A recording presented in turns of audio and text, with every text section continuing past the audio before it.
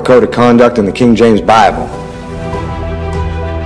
I hate snakes, Chuck! I hate them!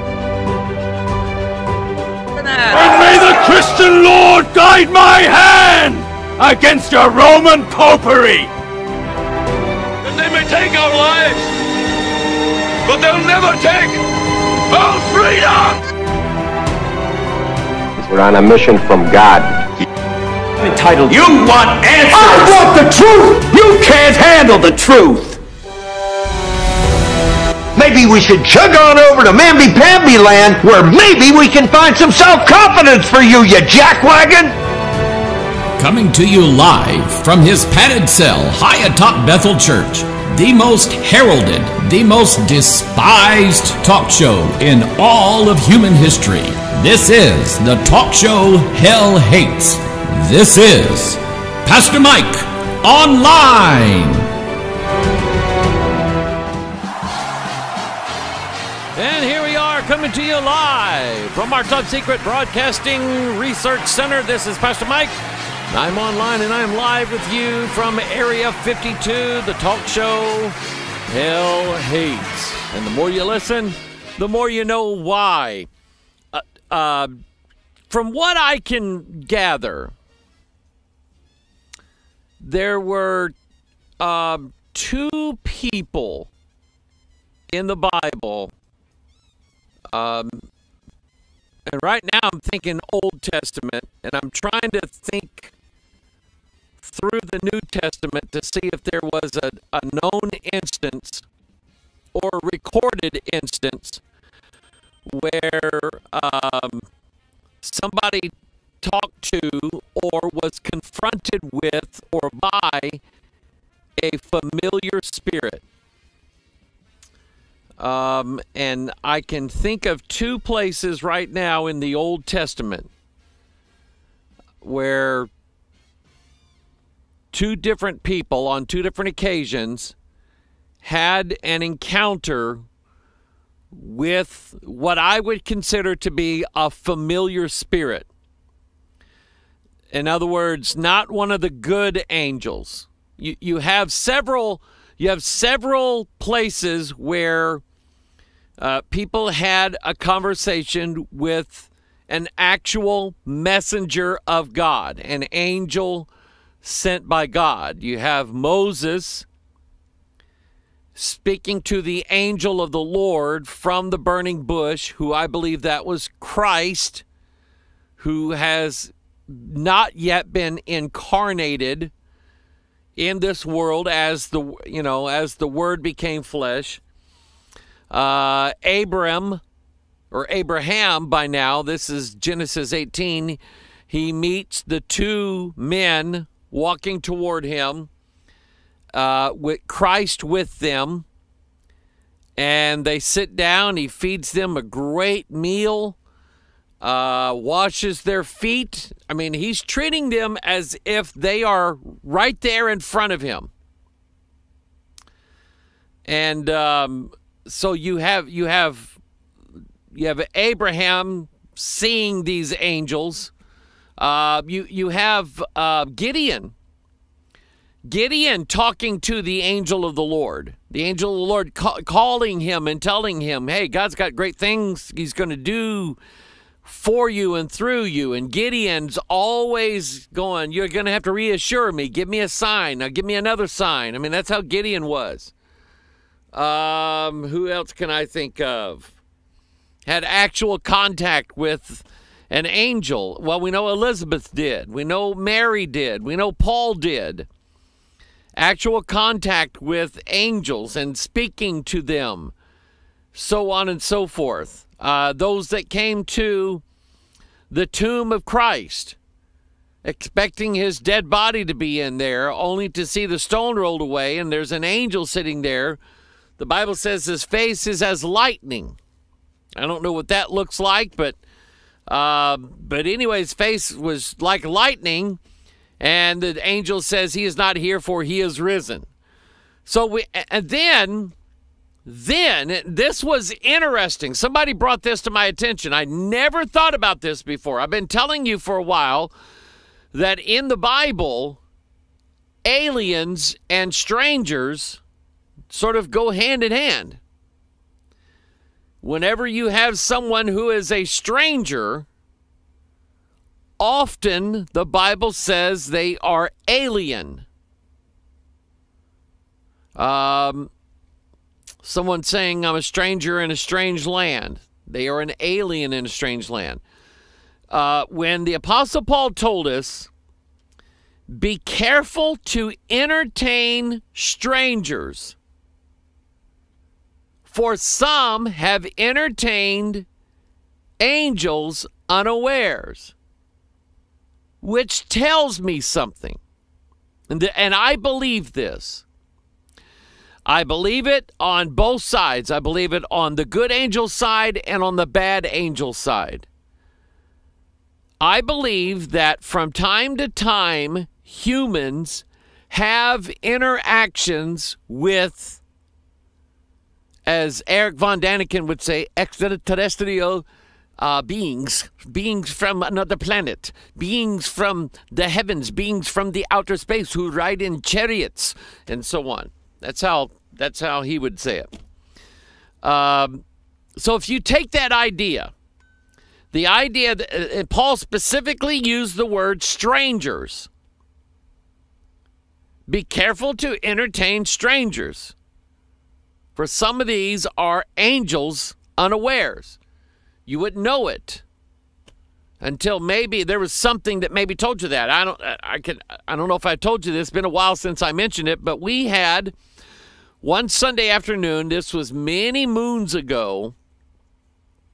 We had a church barbecue uh, at the church Sunday afternoon after the morning worship. We set up a nice pavilion outside. It was sort of a warm day, but it was a nice day to have a, have a little picnic, all right? And um, so, anyway, up comes this guy walking up to us. And, you know, of course, we got food everywhere. And we're all eating, and this guy looks like he's been traveling. He looks road, you know how the, these guys are out in the sun all day, so they get real dark and tan. And you can tell he's road weary and everything like that. And he was, understand that our church is within a block of the intersection of Interstate 55, which runs from Chicago clear down to past Memphis, Tennessee. I know that maybe all the way down to the Gulf of Mexico. I'm not sure. But there's Interstate 55, which is just right over here. And then Highway 67, Interstate 67, it runs from St. Louis all the way down to at least Little Rock, Arkansas. So we get people every now and then right off the highway that come by and see us. Well, this guy walked up to uh, us having this big picnic, and he's asking for directions. From that point, he's got to get to Chicago and we asked him all kinds of questions. But the after a while, the the thing that popped in my mind was, I wonder if this is an angel. I wonder if it is. As soon as I thought that, I asked the man, When's the last time you had anything to eat? And he said, Well, it's been a while. Well, there was no way in the world, with us having food laying everywhere, that I was going to let that man go off hungry. So we tried to make him, you know, bags and plates and whatever, whatever, something that he could carry, Tupperware dishes, things we didn't mind losing. You know, they cost a little bit, but you know, God will bless. And we we did not send him away empty-handed. In fact, uh, two of the guys in the church they volunteered to take him from our church up 55 to uh, just where he could cross over into the Illinois side of the Mississippi River. using the JB Bridge, which is the southernmost bridge in the St. Louis area. And so we loaded him up with as much food as we thought he could handle or carry or whatever. He didn't he didn't have much. And the guys that we sent to take him and drop him off said they pulled off the interstate onto a ramp. They dropped him off. They had to go they had to turn right because there was no way to turn left. They had to turn right, turn around at a gas station. And when they come back, that guy was gone. And I mean G O N E gone. Disappeared. Just out of just gone, period. And they came back telling us that.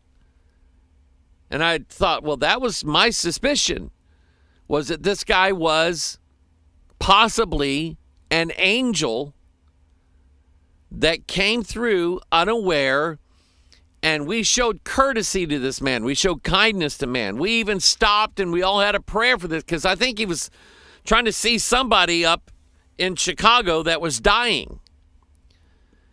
And um, as a church, we had prayer over him and so on.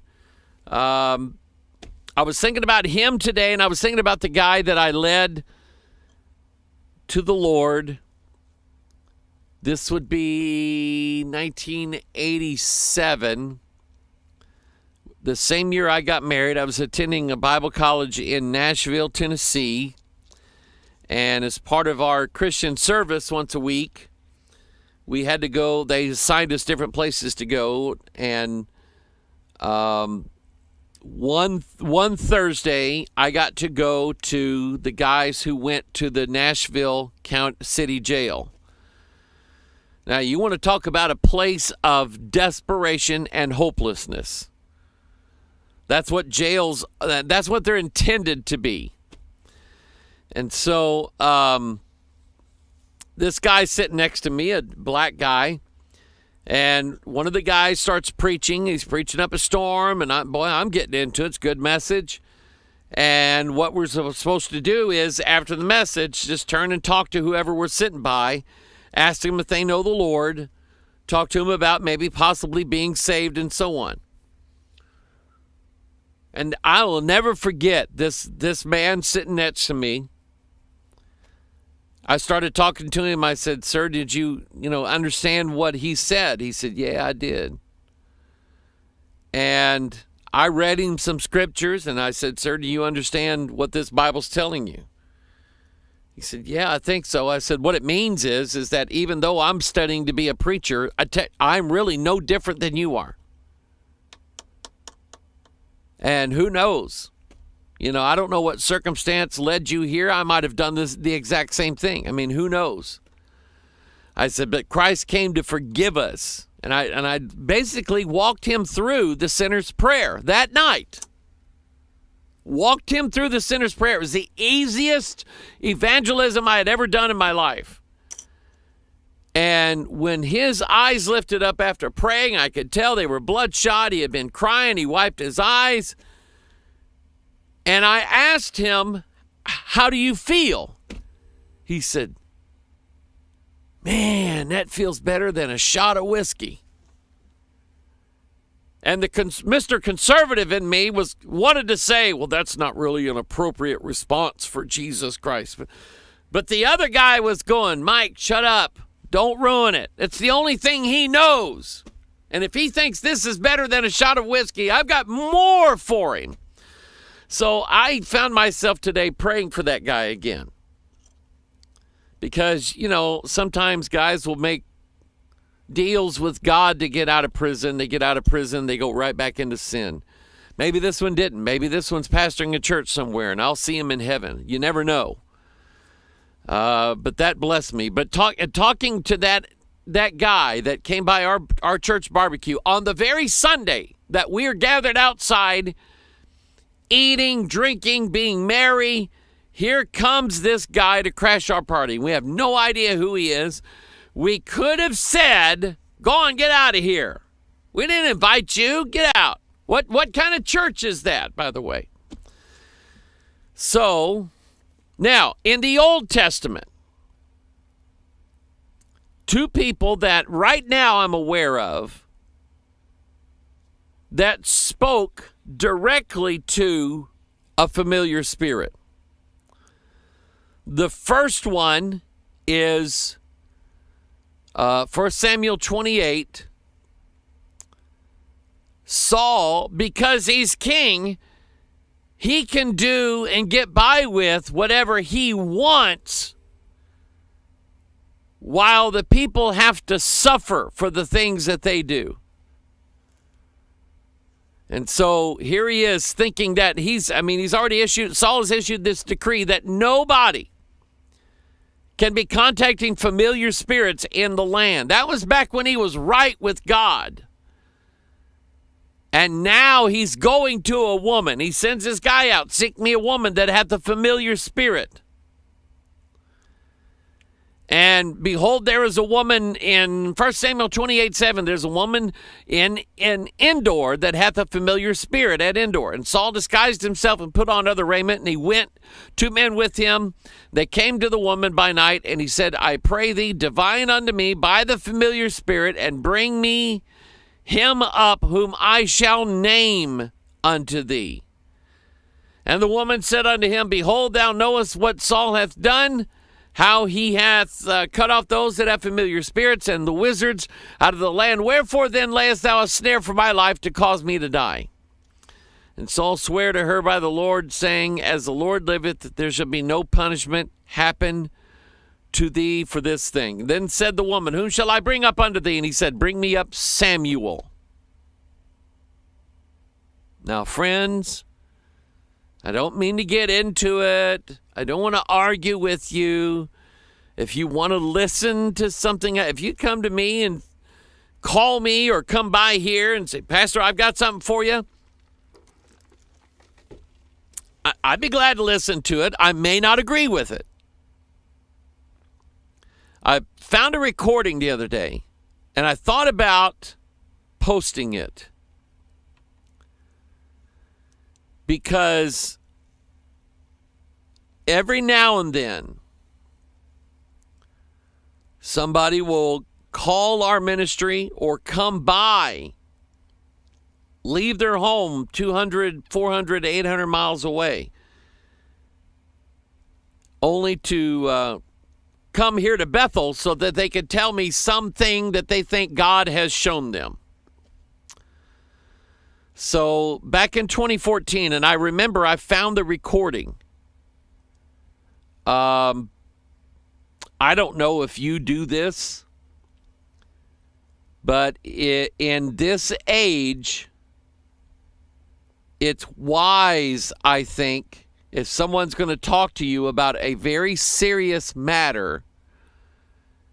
Um, it is wise in many cases to record that conversation in the state of Missouri, as long as you're not in law enforcement of any kind, um, there's no law that says you have to let the person you're talking to on the phone know that you have a recording device somewhere that's recording this conversation. They don't they don't have to it's called first party knowledge or something like that. You can know about it but they don't have to know about it, and those those recordings are legal. Well, there was a guy that pulled in our church parking lot one day, and he had a he had a big old truck. He was a big guy too, big guy, and he kept asking for me, asking for me, asking for me. So I got up, and the conversation did not go eh, very well. I'll say that. And as I listened to it, and I thought about posting it, as I listened to it, I tried not to try to be persuasive or twist his arm or tell him what an idiot he is for believing this when the Bible clearly says this. I mean, God just put it, I guess, just put it in my heart. And I pick it up nine what let's see how long ago was that 2014 so that was about seven years ago and um, god gave me a little bit of grace to not just say to this guy that's the craziest thing I ever heard of in my life. I'm not going to waste any more time with this. Adios. Um, so he came and he wanted to bring some kind of computer setup in and set it up and hook it up into our network. And I said, Sir, let me just tell you, that's not going to happen. I said, I don't know your computer. I don't know you. I don't know, you know, who you are. You may have a computer full of viruses. I don't know, but I can't really do that. And I said, Why don't you just tell me what your idea is, why you feel like God sent you here to talk to me, what it is, and then give me the scripture. And he was fumbling papers and he was, you know, kind of, well, I need to I need to show you this, but I got to show you this first and you got to hear this before I can t-. I said, "Just say it. Just say it." He said, "All right." He said, I know who the two witnesses are. He said, Have you read about the two witnesses? Do you know the two witnesses? I said, Yeah, I know the Bible account there in Revelation 11. And he said, I know who they are. I said, okay. And he said, now we need to we need to start out with this scripture over here and go to this scripture over here. And I said, just tell me who they are. Just tell me who they are. And he said, Jesus and God the Father are the two witnesses. And I went, in my mind, immediately, a buzzer went off. He's wrong. And now I know why he had to build this up with scripture first. But I told him, I said, just cut to the chase. Don't be nervous. Just cut to the chase. Tell me who you think they are.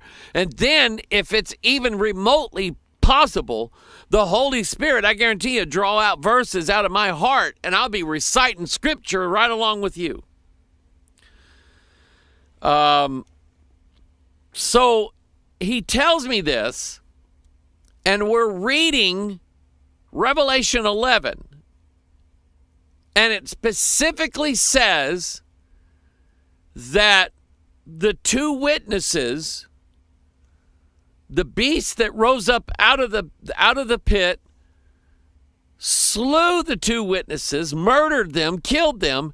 Their dead bodies laid in the street for three and a half days. I would listen i'll tell you something. I picked up a corpse one time with uh, a family member who is an embalmer and at one time he was the county coroner. He picked up all the dead bodies all over the county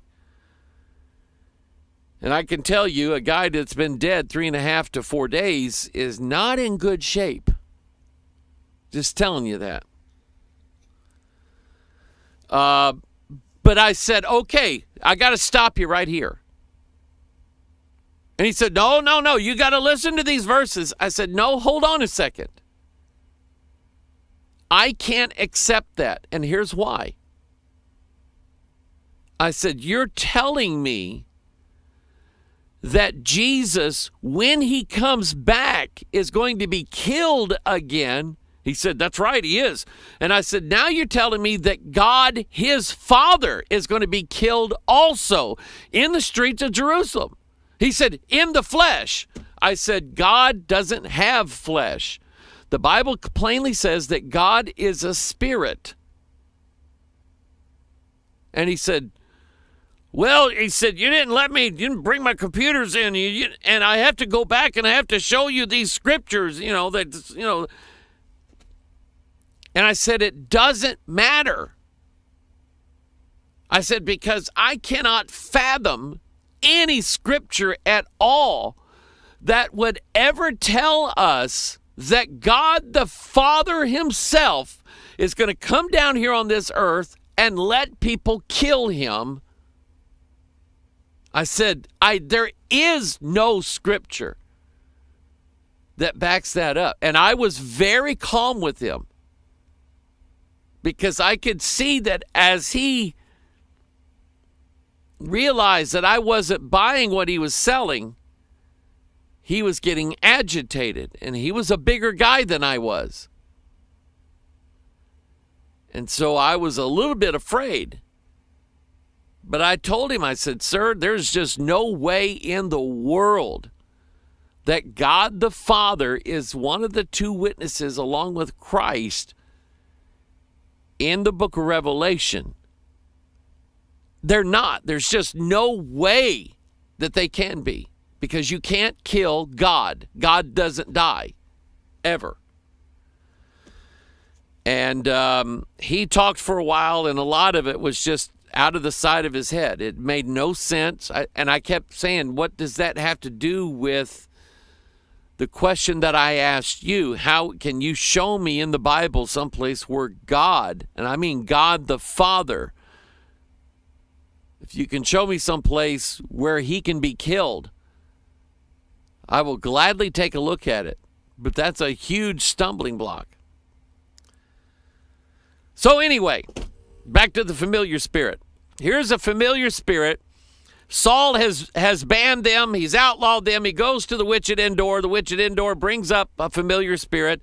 The familiar spirit says, I'm Samuel, but it's not Samuel. No way, no how is it Samuel. And let me read the text here. Let me put it up on the screen for you. Because I just, I just, I just, I just, I just, I just, I just, I just, I just, I just, I just, I just. How you like that sound effect? That's pretty cool. Boo, boo, boo, boo, boo, boo, boo, boo, boo. Okay. Anyway, um, let's see here. Verse 11 the, the, said the woman, Whom shall I bring up unto thee? And he said, Bring me up Samuel. And when the woman saw Samuel, she cried with a loud voice. And the woman spake to Saul, saying, Why hast thou deceived me? For thou art Saul. The king said unto her, Be not afraid, for what sawest thou? And the woman said unto Saul, I see gods ascending out of the earth. Gods are there. So think of two things unidentified flying objects. Um, they call them USOs, unidentified sea objects, because some of them come up out of the sea. In this case, they rise up out of the earth. These gods come literally up out of the earth. They ascended up out of the earth. And I and he said unto her, What form is he of? And she said, An old man cometh up, and he is covered with a mantle. And Saul perceived that it was Samuel. And he stopped uh, with his face to the ground, or he stooped with his face to the ground and bowed himself. And then we have the place in Job, and, and I'm not, again, I'm not too familiar with another story, another place in the Bible where someone sees a familiar spirit, has contact with an actual spirit. And, but I believe that if good spirits, good angels can make their presence known to us on this earth, then I also believe that evil spirits can and will do likewise. And I, I do honestly believe that. I think that it's highly probable that around us are entities that are not human. They are of the realm of familiar spirits. Some, I believe, from the heavenly realm, some from the earthly realm down below, somehow, somewhere. But I think that they make incursions into this earth, into this world, do and say things to directly contradict the message, the gospel of Jesus Christ, and the Word of God.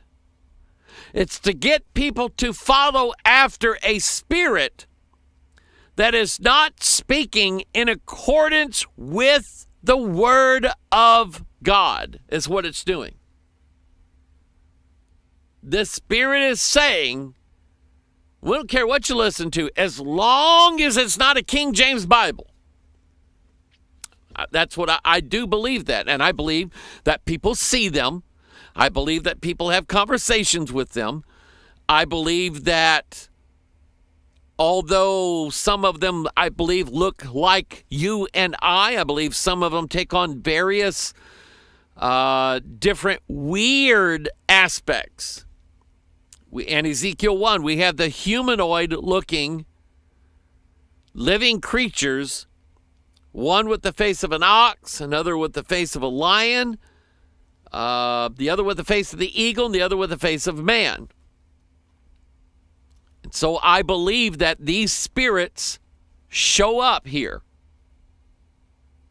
And if it's a good spirit, a good angel, God's going to bless that. If you are kind to that stranger, I believe God will bless you as a result of that, whether you know it was an actual angel or not. Now, we never found out that it was an actual, he, the guy never sent us an email saying, guess what? I'm really an angel.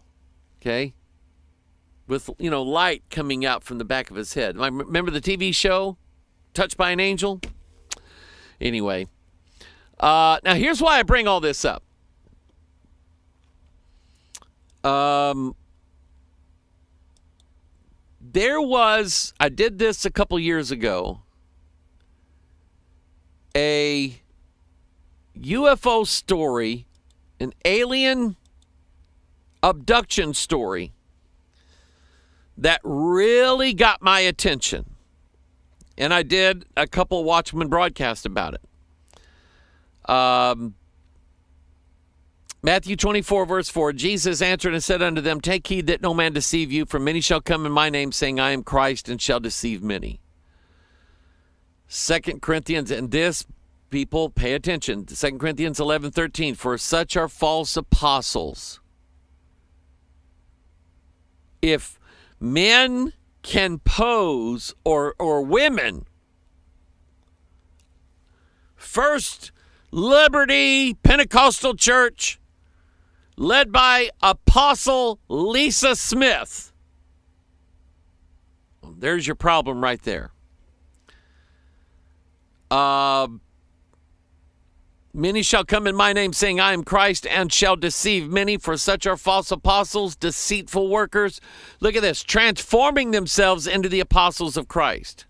Now, here's one question that a lot of people ask is, Pastor, do you believe that devils can take on different shapes? And I would have to say, I think it's possible. I think it I think it would be possible. I do. Because these false apostles, uh, Paul later says that these false apostles, uh, where is it? They are transformed as the ministers of righteousness.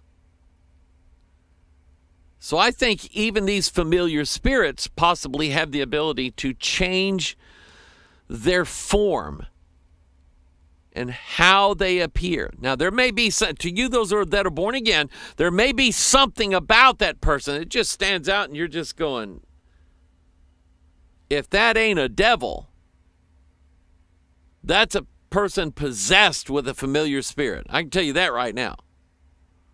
You might walk away from certain encounters with people coming off feeling that way. Man, that just felt like a devil to me. Whew, I better get out of here. So we have many coming in his name saying, I am Christ and shall deceive many. And then we have false apostles, deceitful workers, transforming themselves into the apostles of Christ. And no marvel, for Satan himself is transformed into an angel of light, is transformed. He has a transformation that's coming. No longer will he be seen as the bad guy. He's going to be seen as the good guy. Therefore, it is no great thing if his ministers also be transformed as the ministers of righteousness, whose end shall be according to their works. Now, you remember what God did with Saul. He took away his mercy from him.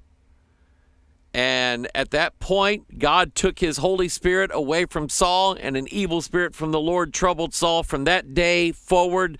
And you can sort of say Saul was changed after that. He was a mean, mean as a rattlesnake, especially when you brought up the name David.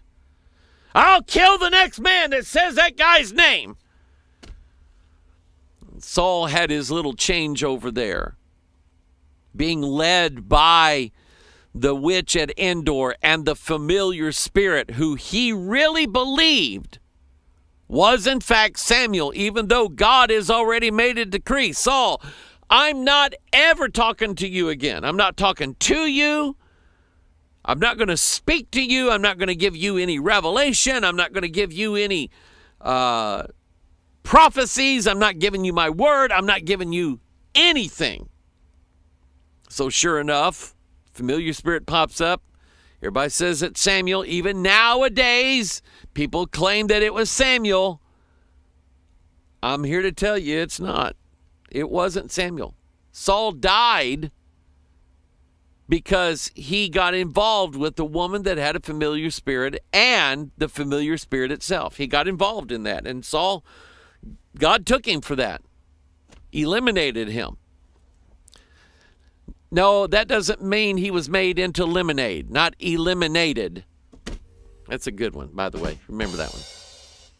Okay. All right. Now, there was a UFO story that really really got me fascinated. I will choose their delusions and will bring their fears upon them, Isaiah 66 4. Because when I called, none did answer. When I spake, they did not hear. But they did evil before mine eyes and chose that in which I delighted not. They didn't choose the Bible, they didn't choose prayer. They did not choose the, these fundamental things that God told us to do was read our Bibles and pray they decided not to do that. They decided that they're above the Bible. They're so spiritual now, they don't even carry a Bible anymore, much less read it. They don't need to because the Spirit speaks directly to them. And reading the Bible was would be like an adult sitting there with his three-year-old child's coloring book, coloring the pages on it. That's the way some people think. Um, Betty Andreasson,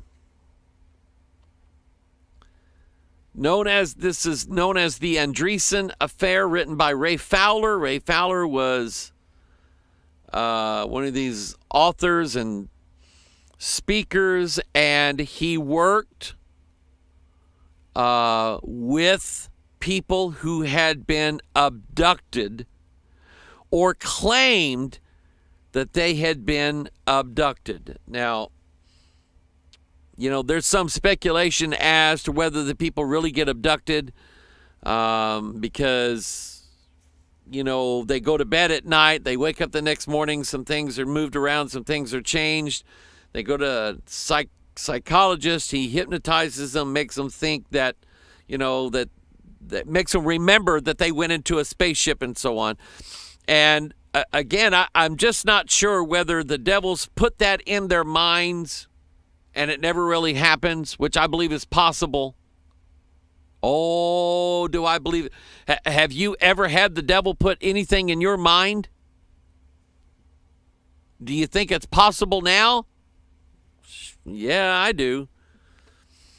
Or were they really taken somewhere, things done to them, and, you know, they have to have hypnosis to bring these things out because these devils, and they look like devils, these devils possibly implant certain memories into their minds and so on, and this is how they remember it.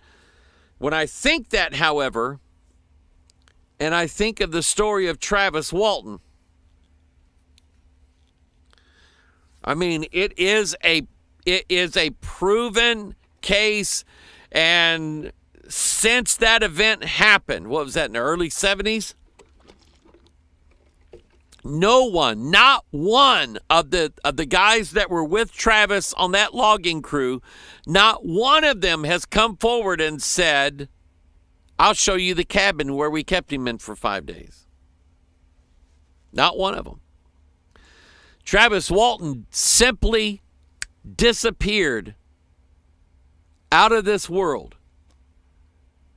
Five days later, he wakes up. He's inside some sort of ship.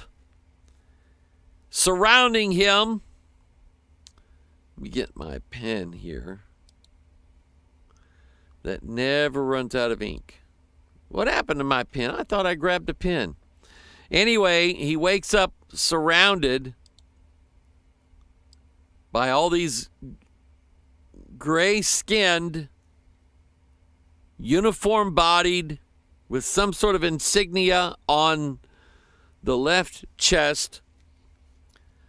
And um, Travis is surrounded by these things, and it scares him. Of course, he scares them. They go running off. He goes out of there, finds a room with some kind of control panel on it and a TV picture with stars on it, and he messes around with the control panel. All of a sudden, the star scene shifts. He's moving the ship, and he's going, uh, maybe I shouldn't do this. And um, so then by that time, a a much taller person than the gray, someone about of average human height, meets him in the corridor. And um, um, Walton thinks that they're humans. Thank God there's humans around here. Did you see what I see? We need to get these guys. They're little aliens or something. He didn't know. So anyway, but that's what Betty Andreasson, that's what she dealt with. She had, and as far as I know, she's still alive. And I'm not sure if she is still having or maintaining some form of contact with any of these beings.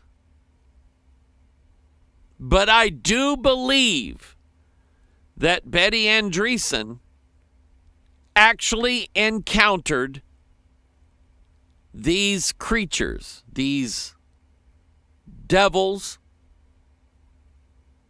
these familiar spirits, if you wanted to call them that. If you want to call them strangers, that's fine. If you want to call them aliens, that's fine.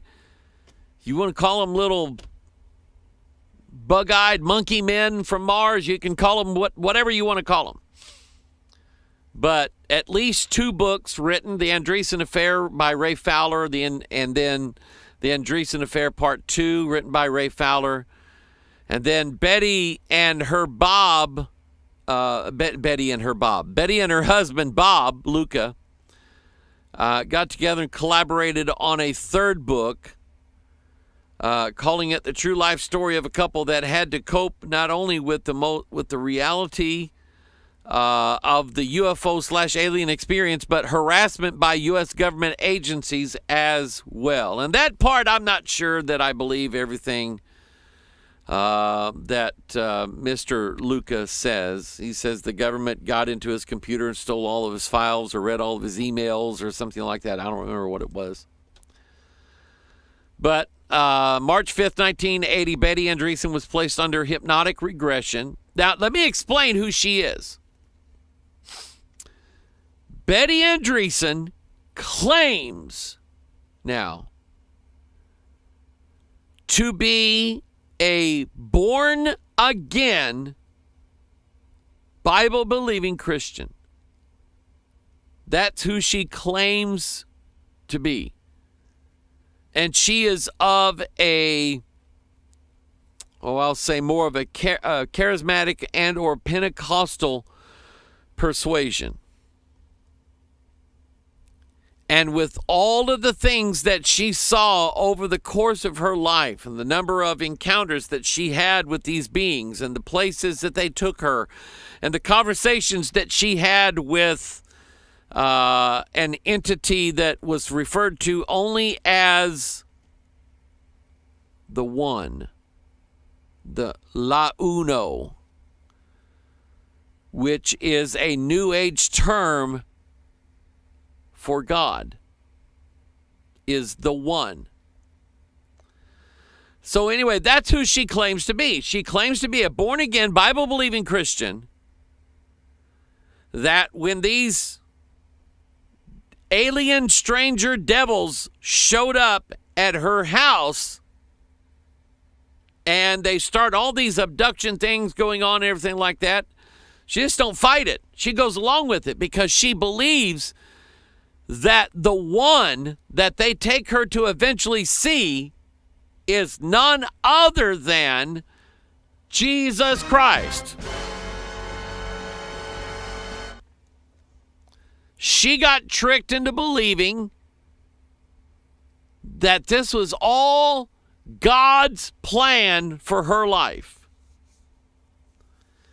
Now, I can tell you after having read most of the content in these three books, uh, I don't, sometimes I don't read the whole book, but um, she has an overall positive encounter with what to me are obviously agents working for the other side, not God's side. Um, and to me, there's absolutely no doubt about it whatsoever. But that's what she believes. She believes the one is Christ or God. She believes these little aliens are angels. And she actually used that verse one time to let them in her house because she said, God said, Be careful to entertain strangers, for thou might be entertaining an angel unawares. So every time they came to her house, I mean, she had milk and cookies ready for them. She had, you know, had all kinds of things. Let's let's have a good time now today. And it all started. This is what really got my attention. The first time I saw this. When she was a little girl, about 11 or 12 years old, she is um, sitting in a backyard hut and she sees a small ball of light that circled her about five or six times, circled her head. It made a real dull buzzing sound. She called it a bee. Uh, and it was about the size of a small marble or a bumblebee, is what she remembers and what she reported. Then, of all things, after this thing flies around her head about five or six times, the the ball of light lands right here on her forehead. And she said, The tiny ball of light landed in between mine eyes. It was cold, and I could feel a squiggle deep inside. Now, whatever she meant by that, I believe that right then she became possessed or at least entered into by this certain spirit. She could feel that movement deep inside of her body. And then she said, after the ball of light landed on my face, I went slowly and softly backward till I lay on the ground, unable to move. So follow me on this one.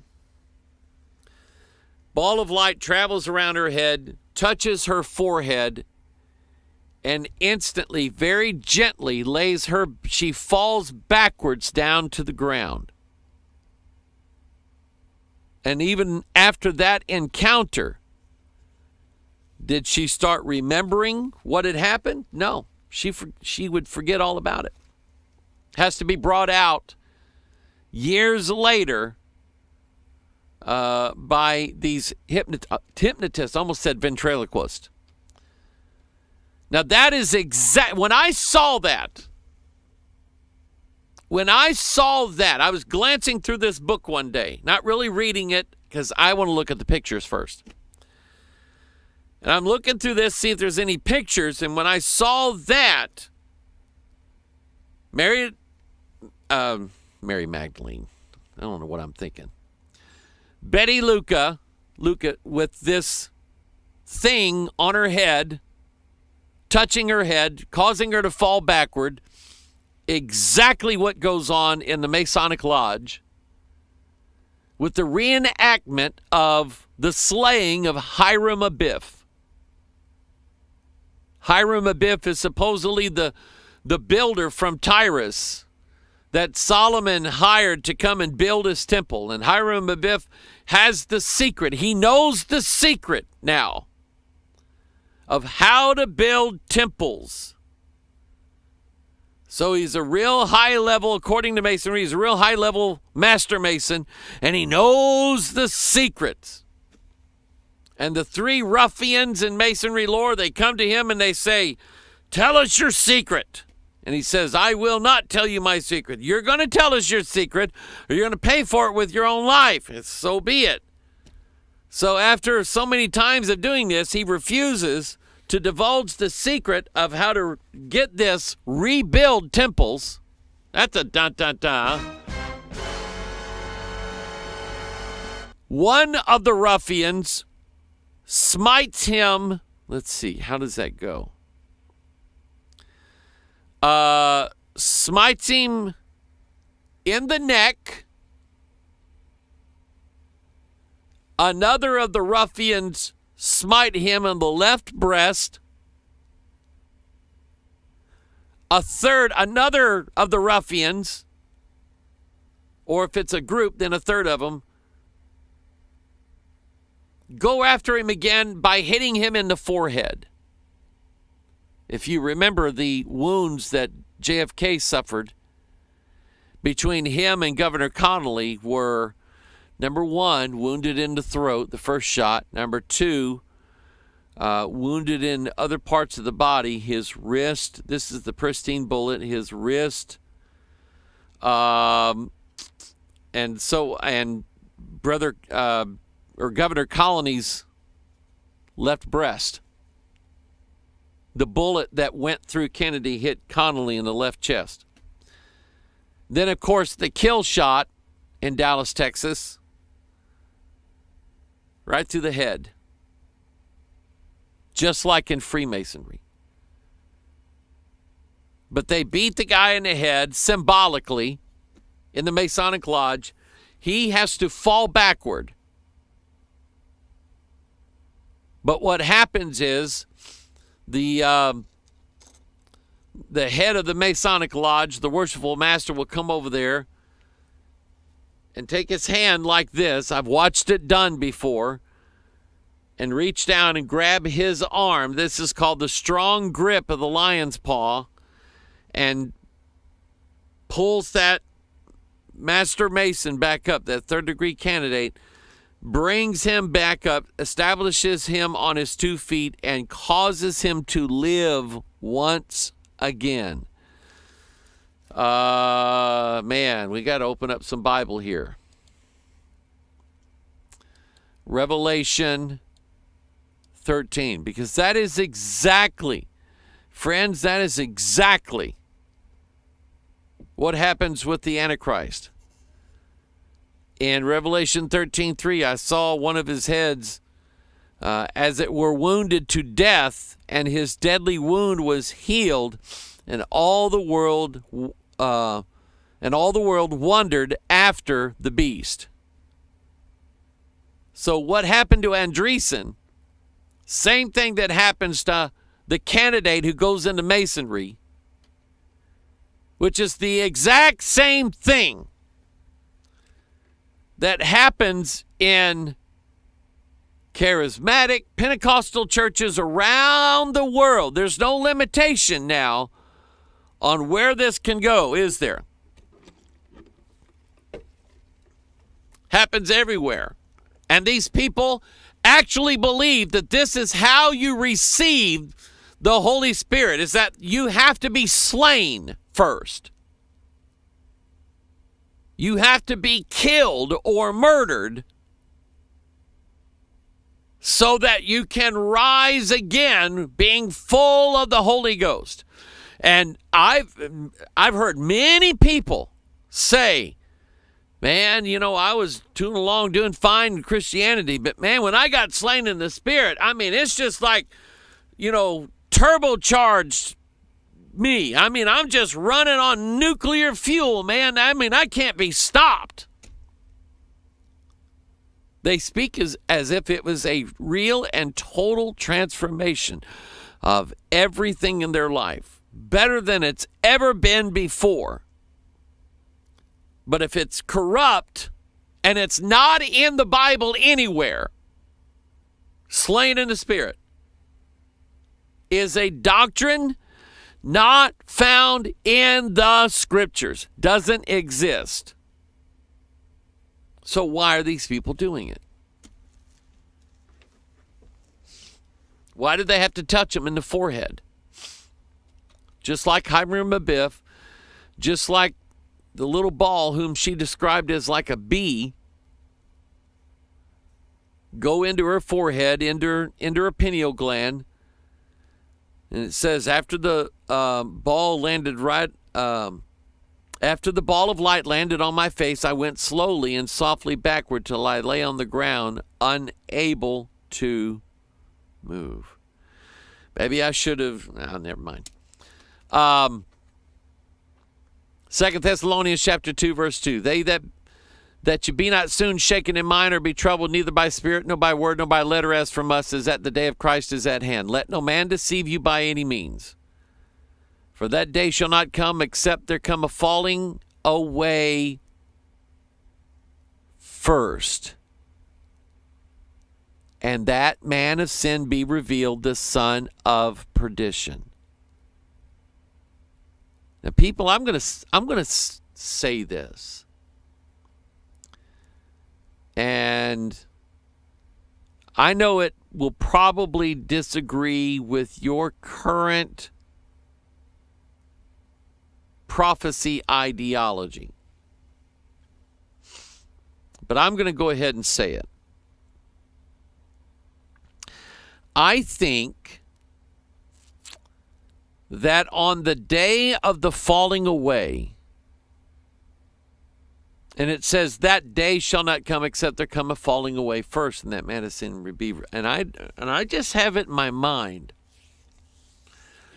that the falling away is an event that happens all over the earth to every man, woman, and child that's on this earth alive at that time, with the exception of the saints of God, which I believe um, I believe, of course, that since the falling away takes place first, that we will be here to view the falling away.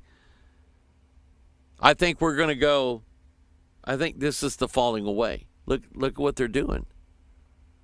Look at what look at look at what's going on. They're all falling down backwards, and I do. I call me whatever you want to, but I believe there's a day coming people are going to be walking outside of their apartments or outside of their cars. They're going to be looking up in the sky. They're going to be looking down on the earth because something's happened down there. And I don't know how it's going to be administered, how it'll be broken down. We have all these theories and so on. But I think people are literally going to fall down all over the earth on that day. They're going to fall backwards. In the greatest act of slain in the spirit in human history. That's what I think is going to happen. That day shall not come except the coming away. There come a falling away first, and that man of sin be revealed, the son of perdition. I think that's going to happen. I and I think that at that time, see, here's what I think happened here with Andreasson. I think that ball of light flying around her was a devil. Is not, let's go back to, uh, let's see here. Yeah, 2 Corinthians 11. No marvel, for Satan himself is transformed into an angel of what? Light. Therefore, it is no great thing if his ministers also be transformed as the ministers of righteousness, whose end shall be according to their works. So, I think, what am I doing? Going backwards? No. I think that that ball of light going around Betty Andreasson's head when she was about 11 or 12 years old, I believe it went directly into her forehead. No immunization required. And I think that spirit entered directly into her activating the pineal gland. And when the pineal gland's activated, it doesn't awaken you, it puts you to sleep. That's what happens. And I think that at that point, this devil, this spirit, literally caused her to fall backward like being slain in the spirit she fell down and stayed that way for a, for a season. The Bible doesn't, well, this story doesn't tell us how long. But I think that something similar to that event is what's going to happen. Now, again, I could be so totally wrong. I just know that I know what Babylon has in her cup. Turn to Revelation 17.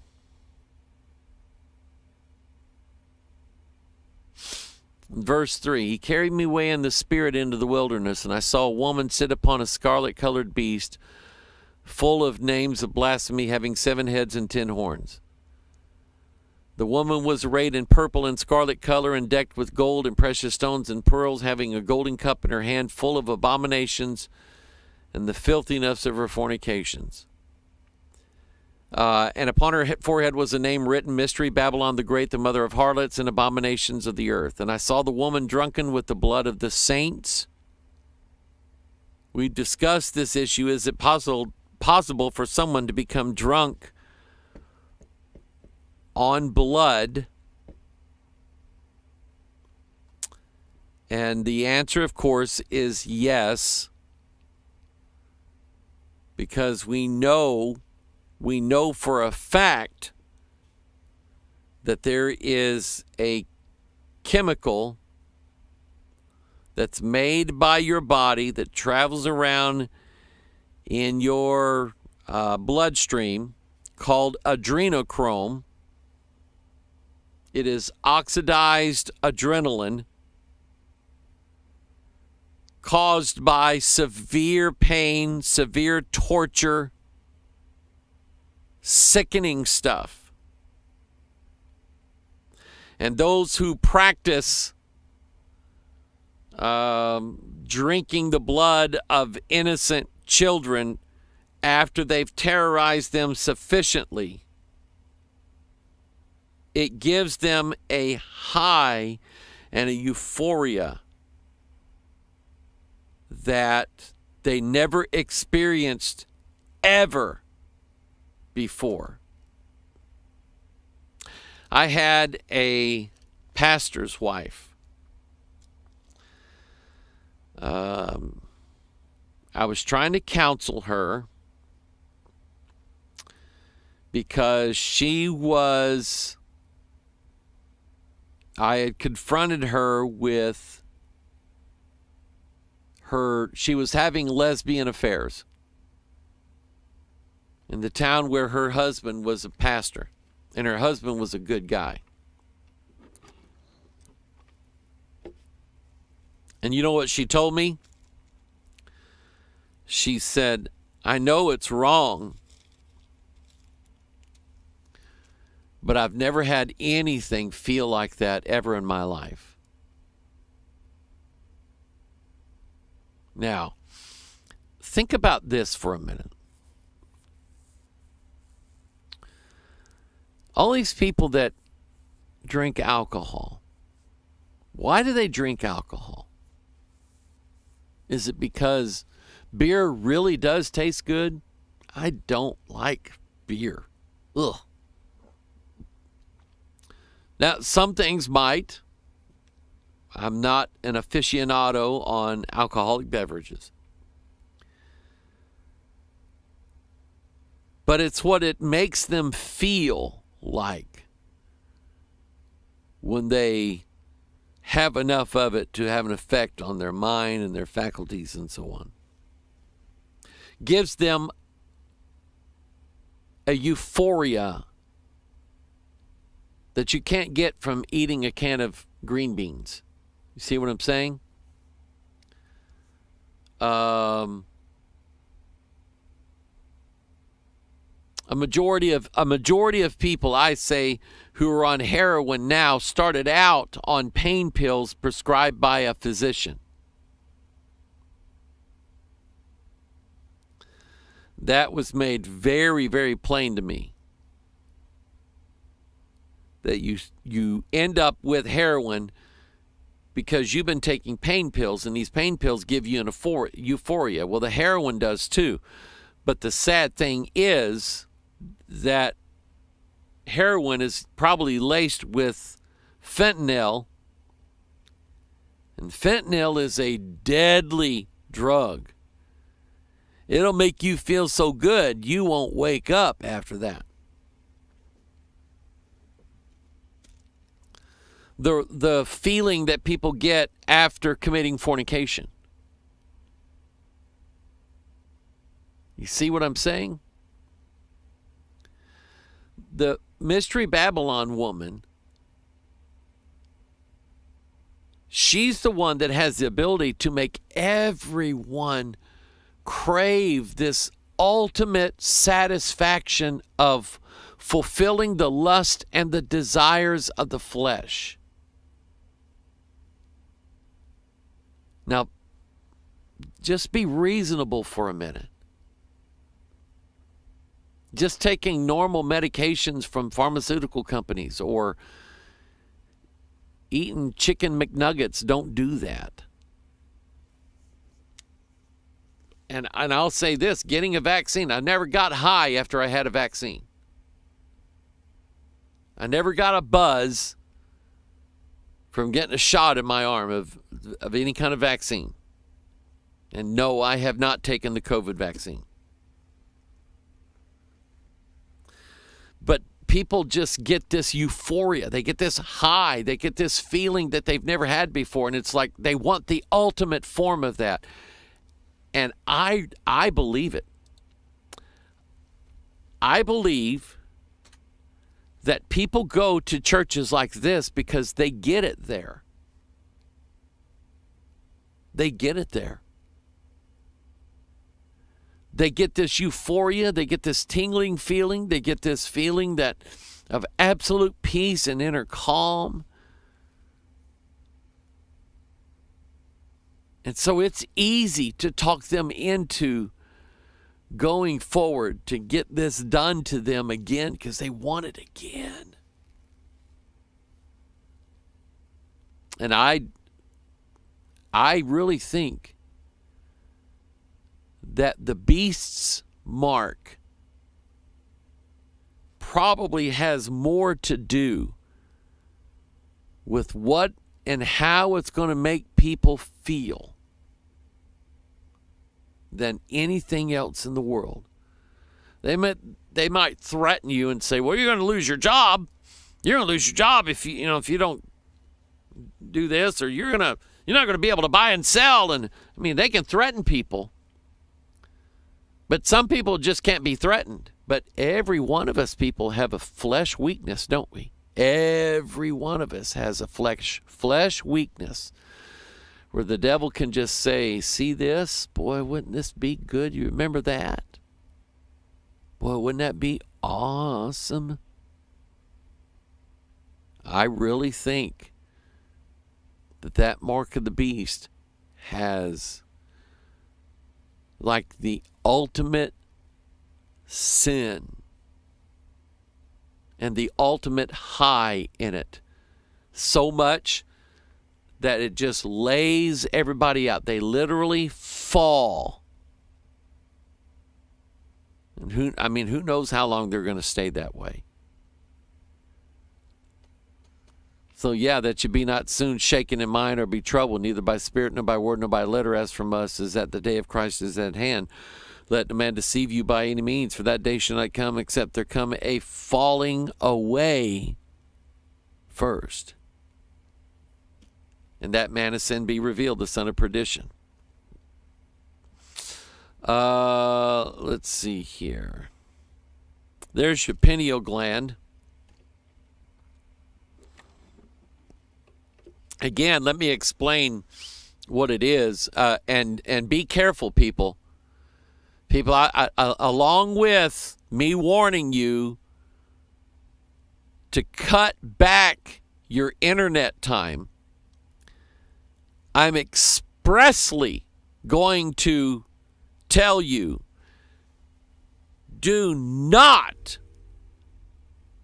fall into these new age traps that are on some of these health awareness websites. Because most of them, including Mike Adams, the health ranger, the health ranger, most of these are new age to the core. And their whole business model is based upon the fact that they can convince you that what's wrong with you can be cured by this, that, or the other by releasing your body's natural healing energies. Saying that you've got this energies, that's, I mean, that's Kundalini stuff. You've got this serpent needs to rise up and bite your pineal gland to wake you up. Well, that when you activate the pineal gland, it doesn't wake you up. It puts you to sleep. That's what it does. Sort of like my preaching. My preaching guaranteed puts people to sleep. I must have melatonin in my preaching. But that's the focus. That's what that's what the third eye does. The pineal gland. And it literally looks like the eye of Horus. To me, that's interesting. I think they dissected a brain at one point and they said, "Yep, that's that's his eye, man. That's what he is. That's who he is." Because I mean, it is. It looks almost identical to it. Now, here is Manly Hall's Secret Teachings of All Ages. Sufficient similarity exists between the Masonic Hiram and the Kundalini of Hindu mysticism to warrant the assumption that Hiram may be considered a symbol also of the spirit fire moving through the sixth ventricle of the spinal column. In other words, he's almost there. The exact science of human regeneration is the lost key of Freemason. For when the spirit fire is lifted up through the 33 degrees or segments of the spinal column and enters into the domed chamber of the human skull, which is a representation of heaven, heaven, because the heavens above us are domed and your skull is a dome, and that's why it's symbolized that way. It finally passes into the pituitary body, Isis, where it invokes Ra, the pineal gland, and demands the sacred name. Oh, operative uh, masonry, in the fullest meaning of that, I got to move this. Fullest meaning of that term signifies the process by which the eye of Horus is opened. Ye shall have your eyes opened. And I got to show you this because this is cool because he says the spirit fire is lifted up to the 33 degrees or segments of the spinal column. You're gonna love this. If you if you if you don't remember this, or you've never heard me say it, you you gonna love this one. When Satan is lying through his teeth to Eve, you see, was that Genesis three? Yeah, it was Genesis three. I counted the words that Satan said to Eve in the Garden of Eden. He says, For God doth know that in the day ye eat thereof, then your eyes. 33rd word of everything that Satan said. He starts out by saying, um, Yea, hath God said, Ye shall not eat of every tree of the garden. And then he said, Ye shall not surely die. For God doth know. And you count all these words. For God doth know that in the day ye eat thereof, then your eyes shall be opened. That's eyes is the 33rd word in that passage. That's amazing to me. But anyway, the, in operative masonry, in the fullest meaning of that term, signifies the process by which the eye of the eye of Horus is opened. So basically, while the devil is promising you that your mind is going to be open and expanded, that he's there to satisfy all of your lust, all of your greed, all of your desires, all of everything. The truth of it is, he's setting you up to burn in the lake of fire with him for all of eternity. Mm-mm-mm.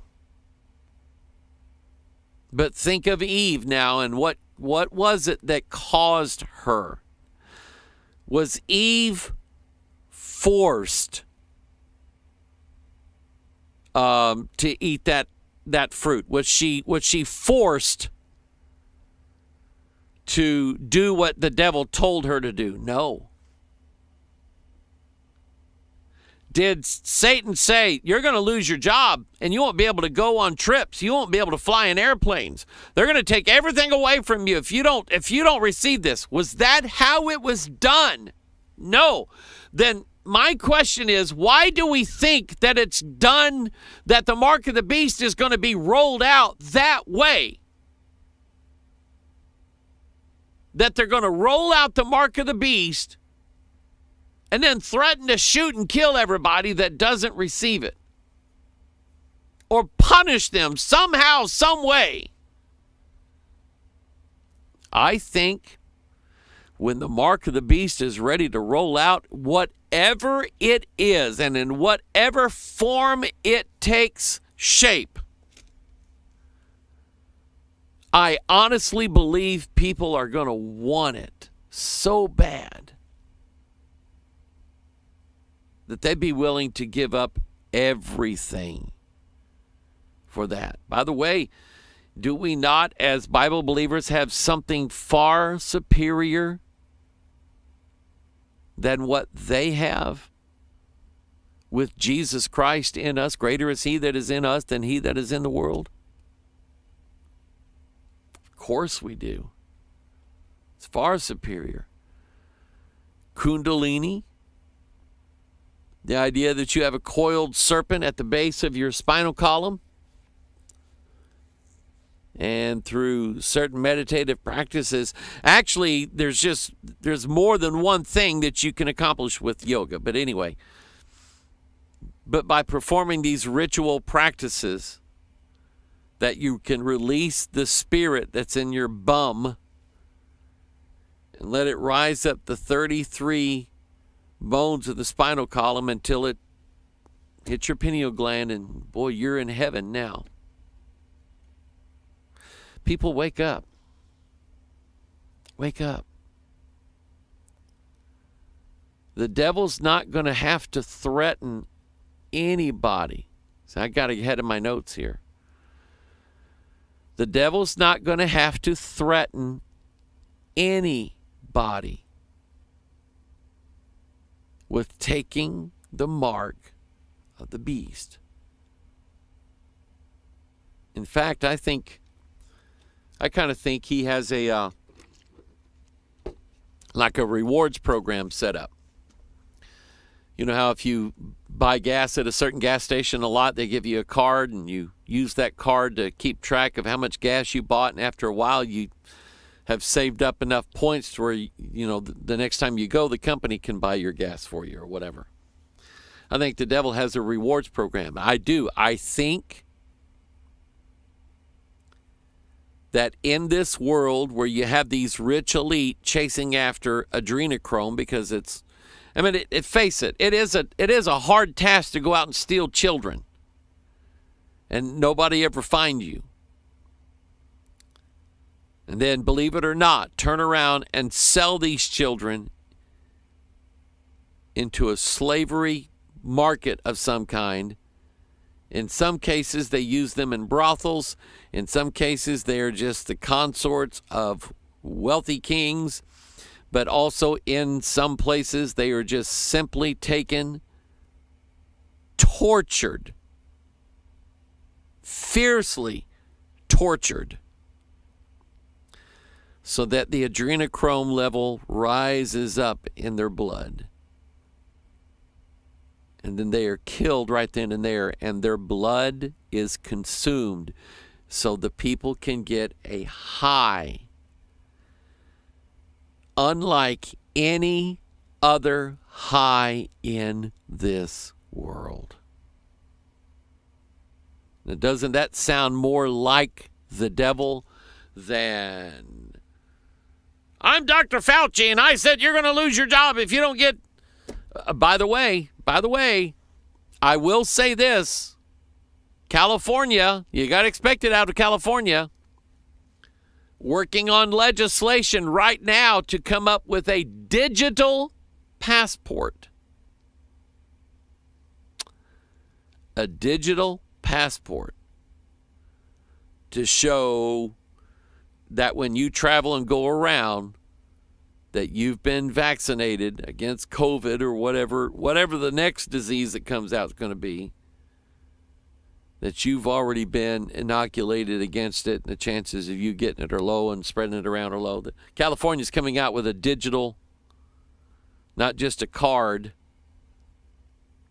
but a digital passport, something you put on your phone. You show it to them when you go in, and they let you in and do all this stuff. And yeah, that stuff, that stuff's coming.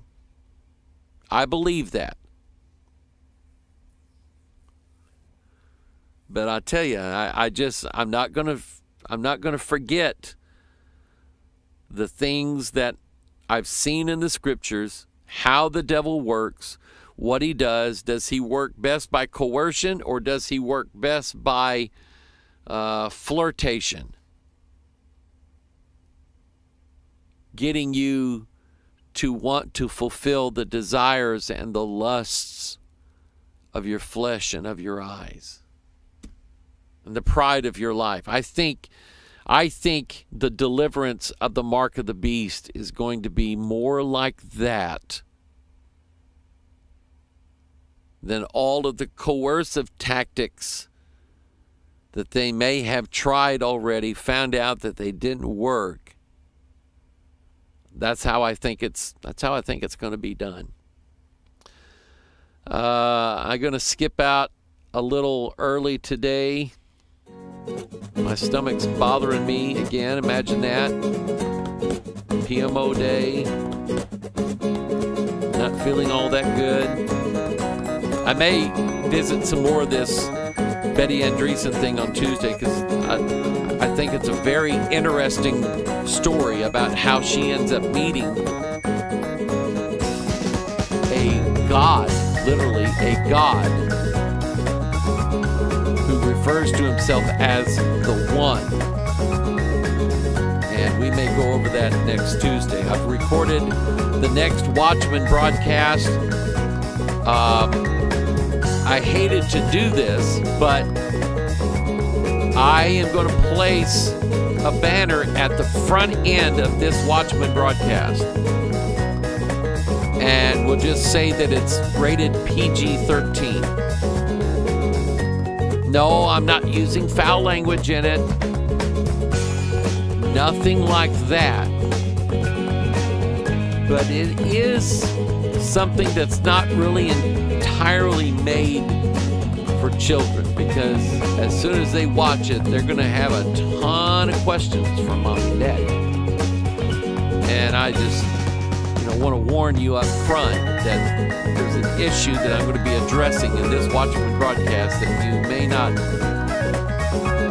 want your kids to bring it up. It may be too young for them, okay? It's kind of birds and bees stuff.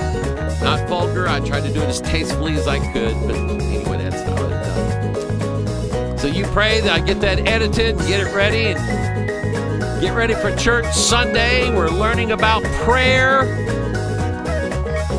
Let me ask you a question. Have you prayed today?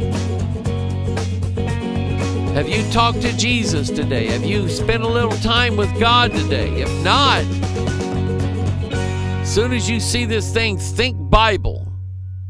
Maybe you'll stop and pray. How's that? There it is.